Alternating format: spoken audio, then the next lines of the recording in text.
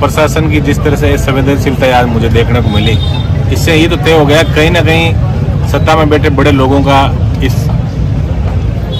घटना के पीछे बहुत बड़ा हाथ भी नज़र आ रहा है। जी। अभी कोर कमेटी ने जो फैसला किया कि हम इसको कल जो है हम बड़ा कार्यक्रम आयोजित करेंगे। निश्चित रूप से ये जो घटना है राणा सर की हम सब के लिए बड़ी पीड़ादायी घटना है एक सभ्य समाज में इस तरह की हिंसा का कोई स्थान है नहीं। हम सब लोकतंत्र को मानने वाले लोग हैं। और हम सब मिलकर प्रयास करेंगे इस पीड़ित परिवार को न्याय मिले। बार बार सरकार के प्रतिनिधि कह रहे हैं कि मुआवजा का कोई प्रावधान नहीं तो मैं आपको बताता हूँ जो अनु गढ़साना अनूपगढ़ के अंदर एक विजय जोरड नाम के जो वकील के सुसाइड का मामला था। हम दोनों तीनों विधायक आरएलपी के वहाँ गए थे। तीस लाख रुपए वहाँ प्रशासन ने अपने स्तर पे अलग करके भी उन लोगों को आर्थिक मदद भी की है। और सरकार के लिए कोई बहुत बड़ा मुद्दा भी नहीं है। इनकी छोटी सी मांग है, कोई सत्ता प्राप्ति की मांग कर नहीं रहे ये कह रहे हमें सीबीआई जाँच की मांग है और एक, करोड़ इनका इन्होंने मुआवजा मांगा है। और उसके अलावा दोषियों की गिरफ्तारी इनकी बिल्कुल जायज़ मांग है। पूरा राष्ट्रीय लोकतांत्रिक पार्टी परिवार यहाँ बैठा है। सुबह हनुमान जी बेनीवाल भी आएँगे। हम सबका मिलकर प्रयास है कि आज सर्व समाज के जो लोग यहाँ बैठे हैं और पीड़ित परिवार को न्याय दिलाने के लिए जो प्रयास करें मैं उनको भी साधुवाद दूँगा कि ये ऐसी परंपरा भी रही है हमारी कि एक दूसरे के सुख दुख को हम आड़े आए। हम सब मिलकर प्रयास करें कि इस पीड़ित परिवार को न्याय मिले। राजनीतिक विचारधारा चाहे हमारी अलग हो लेकिन हमारा ये प्रयास है कि इस पीड़ित परिवार को जल्दी से जल्दी न्याय मिले। गिरफ्तारियों की कहीं सुनने में आ रहा है कि मुलजिम जो है बहुत बड़ी तादाद में थे। अभी तक कुल कितनी क्या गिरफ्तारी हुई? देखिए अभी कोई ऑफिशियल सूचना हमारे पास नहीं आई है। हम तो ये प्रयास करें कि इसके अंदर दूध का दूध और पानी का पानी हो। ये पीड़ित परिवार भी नहीं कह रहा आप किसी निर्दोष को फंसाओ। लेकिन जो दोषी है उन लोगों को तो जेल की सलाखों के पीछे होना चाहिए।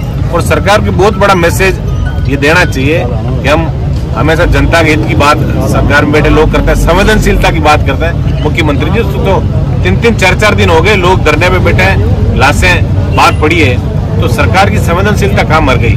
ये प्रसन्न अशोक गहलोत जी करना चाहते हैं। आप संवेदनशीलता दिखा के और इस पीड़ित परिवार को आप न्याय दें। जनता का एक आक्रोश स्थानीय विधायक के प्रति भी है, कहा जा रहा है कि अभी तक कोई भी पीड़ित परिवार से कोई भी संपर्क नहीं किया इस प्रकार का कुछ भी अभी तक स्थानीय विधायक की तरफ़ से कोई भी प्रतिक्रिया नहीं आई। देखिए यदि नहीं आई तो दुर्भाग्यपूर्ण है। आना चाहिए विधायक को आना चाहिए था। मैं हमारे इलाके में जब कोई घटना होती है चाहे किसी भी समाज की बात हो हम सबसे पहले हमें जनता का धरना लगाने की कोई आवश्यकता नहीं। हम खुद मौके पर जाते हैं पीड़ित परिवार को न्याय दिलाते हैं। ये चूँकि इन लोगों का आक्रोश सही है। स्थानीय विधायक के मौके पर आना चाहिए ताकि इन लोगों को न्याय मिले। वो, सत्ता में बड़े पद पर भी बैठे हैं। तो मुआवजा मुआवजा उनके लिए छोटी बात है। तो कहीं ना कहीं यदि उनकी नीयत साफ़ है तो इस धरने पर आके और पीड़ित परिवार को न्याय दिलाए। एक कानून बना था पीछे जो है डेड बॉडी लेके उसको परिवार नहीं बैठेगा अभी तो परिवार डेड बॉडी जलाने से मना भी नहीं करा लेकिन प्रशासन के हाथ में भी कानून ने कुछ पावर दी थी। देखिए डेड बॉडी का ये ये तो ये जो कानून बना ये कानून हमारे जैसे आम व्यक्ति के लिए दुखदायी कानून बना है। आप मांग कहाँ करोगे? इसका मतलब तो फिर कानून का डंडा आपके ऊपर हो गया आप अपने हक और अधिकार के लिए लड़ भी नहीं सकते। ये बड़ा, बड़ा संवेदनशील मामला है और लाश को लेके परिजन जो बैठे हैं मैं तो आपके चैनलों के माध्यम से भी मुख्यमंत्री जी से मांग करूँगा कि यदि छोटी मोटी संवेदनशीलता आप में बची है तो तत्काल इस मामले में संज्ञान लेके और पीड़ित परिवार को न्याय दिलाए। पीड़ित के भाई भी हैं यहाँ पर। पिता है। पिता, पिता है। कितने बच्चे थे आपके? दो। दो बच्चे। तो ये खत्म होने वाले हैं दोनों ही? आ- आपके मतलब बच्चे थे? चचेरे थे? एक भाई का लड़का है एक भतीजा था। ये क्या काम करते थे? एक तो मारा बल्लो करो ऐसे एक बार पढ़ाई कर दी। हाँ। सर बारह महीना हो गया हाँ। हम्म, वहाँ के लकड़ी वाले में, अ, लकड़ी वाले मंत्री हो अच्छा बारह काम करते थे हाँ। ओके।